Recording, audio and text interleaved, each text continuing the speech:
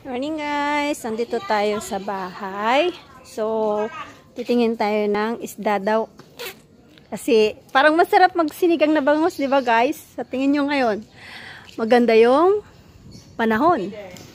At saka, mayroon na kong kamaritis guys, andito. Malapit na kasi ang Pasko kaya nagmamaritis tayo. Okay, kahit walang, kahit hindi malapit ang Pasko, marami pa rin marites. Hindi natin, hindi mawawala yan, guys. Okay. Andito si kuya, nagtitinda ng isda. Ah, sisilipin natin yung isdi, is, isdi ni kuya. Kuya, ang bangos. Pambansang isda ay bangos. Ayan si kuya. Hi naman dyan, kuya, oh. Ah, At ito naman yung friend ko. Ay, nagtago. Ay, mga kamarites, nasaan kayo? Masaya sila kasi nakita daw nila ako. Pero, pasensya muna guys, hindi ko muna ipapakita yung mukha ko ah. Kasi secret vlog ako eh. Bakit naman?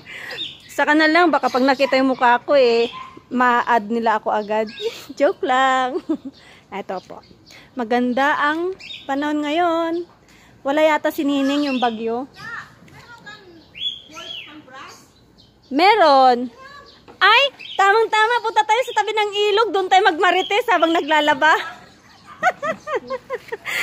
Sige, see you later guys. Maglalaba daw muna kami sa tabi ng ilog. Doon, no. Ilalim pala ng tulay.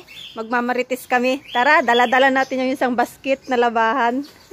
see you later guys. Babalik ako. Ayun guys, ang sarap palang pumunta rito sa labas kasi eto oh, wow, maagang pa Christmas para santo. Wow, binigyan ako ng 300 pesos ng aking tita. Kasi nagmarites kami. Uy, anong marites natin dyan?